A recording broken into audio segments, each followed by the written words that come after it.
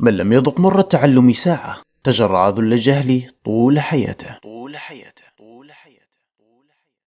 السلام عليكم ورحمة الله وبركاته. منذ أن كنا في المدرسة تعلمنا أن هناك قوانين ثابتة ومسلم بها في الفيزياء. وإحدى هذه القوانين أو المفاهيم هي أن المكان والزمان شيئان منفصلان وأن كل الأشياء لها ثلاثة أبعاد معروفة وبديهية وهي الطول والعرض والعمق.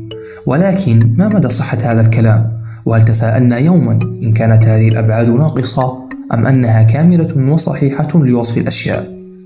وكان هذا السؤال بالتحديد يدور في ذهن العالم أينشتاين وكانت هذه إحدى بدايات النظرية النسبية هل المكان والزمان منفصلين حقا أم أنهما مرتبطان؟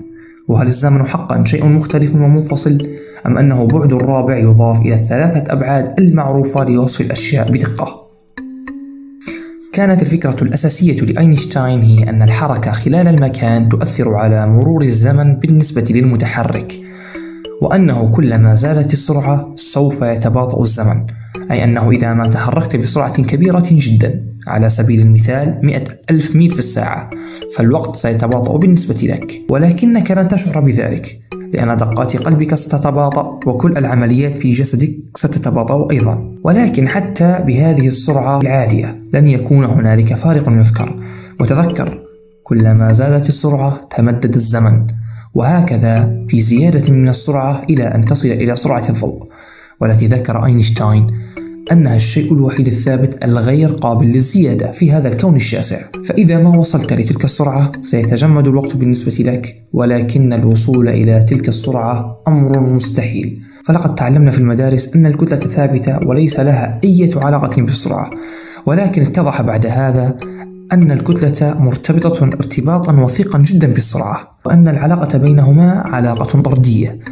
أي أنه كلما زادت سرعة الجسم زادت كتلته أيضا. ومن هذا المنطق إذا ما زادت سرعتك وصارت في تزايد مستمر ستتزايد كتلتك أيضا. وإذا ما وصلت إلى السرعة النهائية والثابتة وهي سرعة الضوء سوف تكون كتلتك عندها لا نهائية.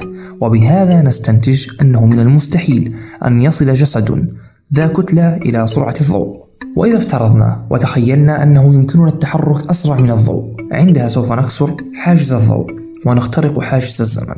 ويبدأ الوقت في المضي بالعكس بالنسبة لنا وهذا يذكرنا باختراق حاجز الصوت. فنحن نرى الطائرة الحربية تمر من فوقنا ثم وبعد بضعة ثواني نسمع صوتها أي أن مسبب الصوت سبق الصوت نفسه. وهذا ما سيحصل في حال تم اختراق حاجز الزمن. ولنضرب مثالا بسيطا على هذه الفرضية.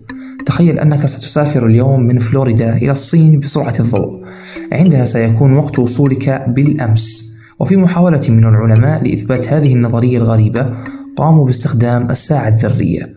والساعة الذرية هي أفضل وأقوى الساعات من حيث الدقة حيث تصل دقتها إلى واحد على المليون ثانية. وهو المعروف بالنانو ثانية وقاموا بوضع واحدة على الأرض وأخرى على صاروخ متجه إلى الفضاء بسرعة عالية جدا.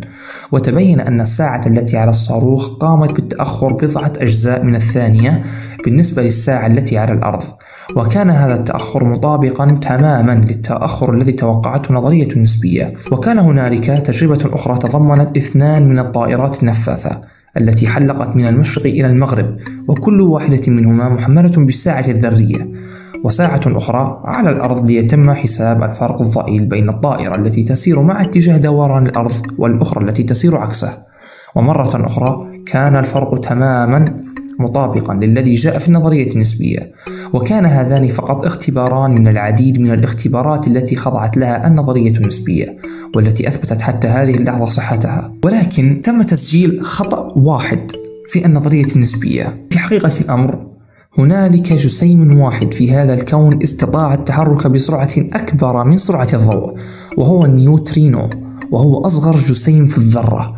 والسبب الوحيد الذي جعله قادرا على التحرك بهذه السرعة هو أن كتلته صفر وشحنته صفر بالإضافة إلى أنه يستطيع التفوق على الضوء من حيث السرعة في الماء فقط وليس في الفضاء.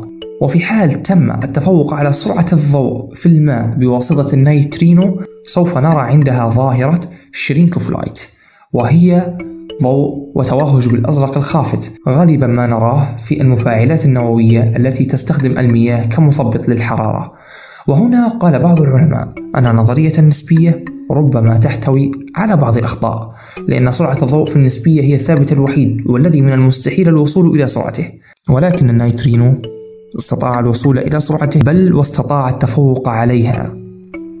أينشتاين قال أن المكان مع الزمان يشكلان الشبكة والنسيج الذي يقف عليه الكون وأن اعتقادنا بأن الفضاء ثلاثي الأبعاد كان خاطئا وأن الفضاء في حقيقة الأمر رباعي الأبعاد.